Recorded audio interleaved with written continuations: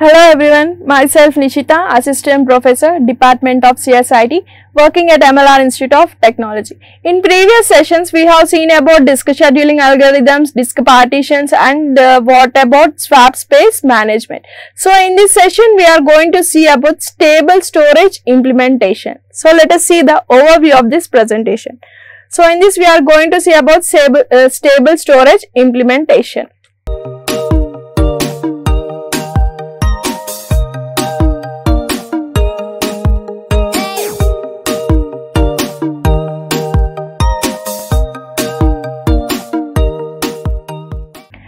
Stable storage implementation is nothing but how the storage of the data is stable and how we are going to implement in the CPU at which place and what the memory is uh, occurring due to stable.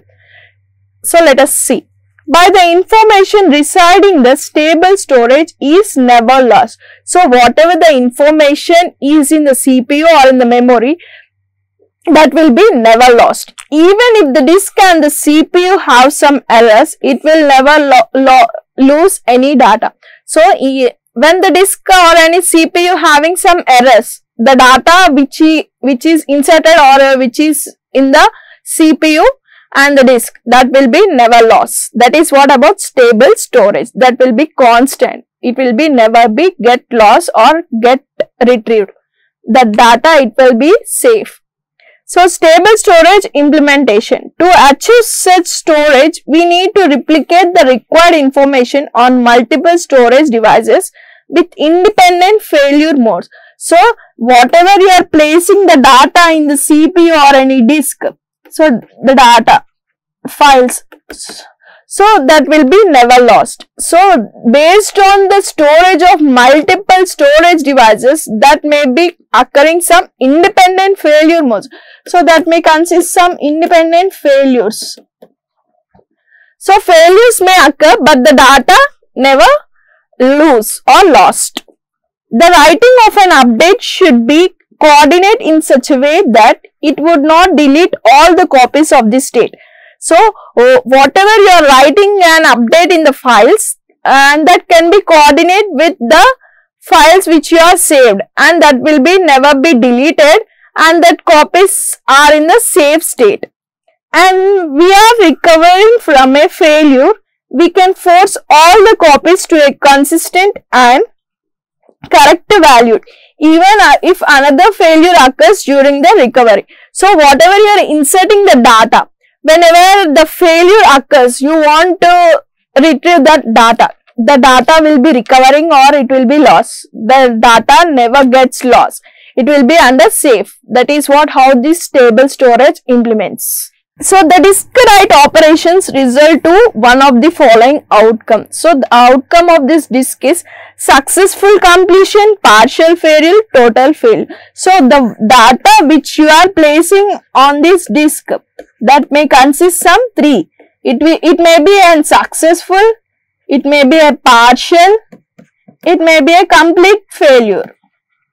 So whatever the data, uh, the data which you are placing in the disk it is maybe compulsory the successful may happen or the partial failures may occur or any totals of the data may get lost. So, these three cases will be occurring in the outcome of this disk.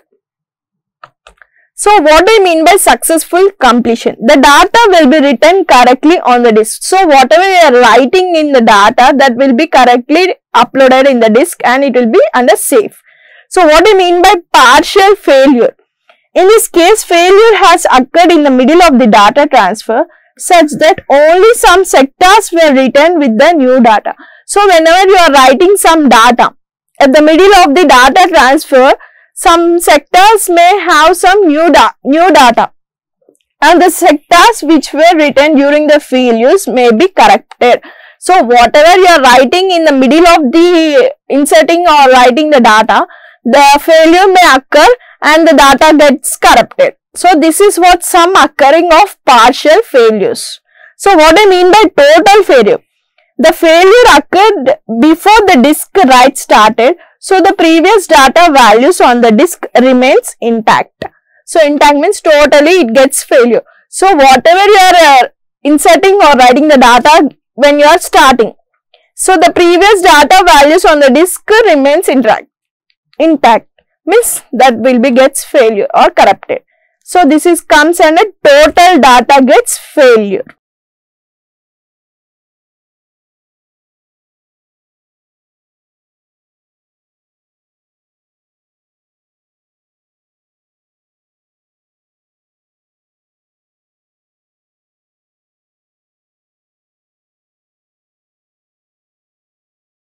Next, during writing a block, somehow if failure occurs. So, when you are writing n number of blocks, if the failure occurs, the system's first work is to detect the failure. So, whenever even if we are uh, attacking some networks, network issues, the failures may occur and we may detect some data or we need to retrieve that data. How this happens? How we are going to retrieve? How the errors are modified? How are uh, how the errors are rectified? And then invoke a recovery process to restore the consistent state. So you need to invoke or recover the recovery the process to the consistent state.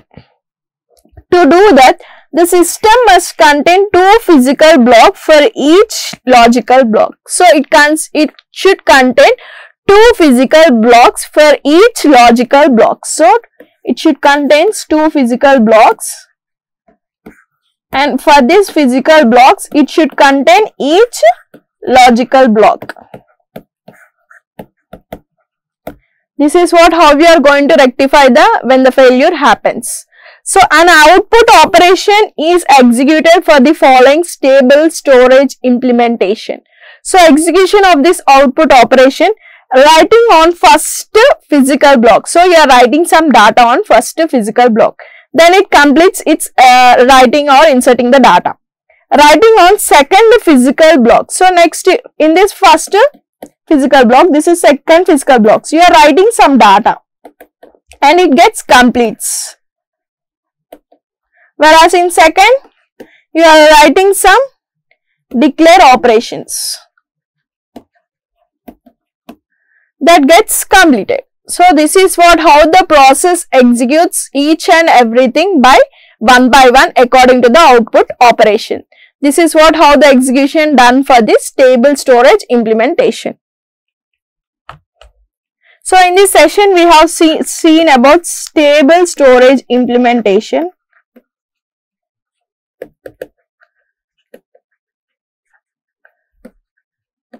So what do you mean by successful implementation? Means successful.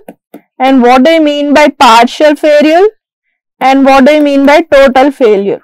And what is the output of this stable storage implementation?